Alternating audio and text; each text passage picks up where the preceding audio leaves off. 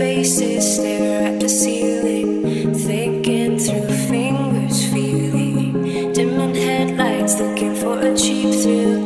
Baby girl picking thorns through the daffodils. I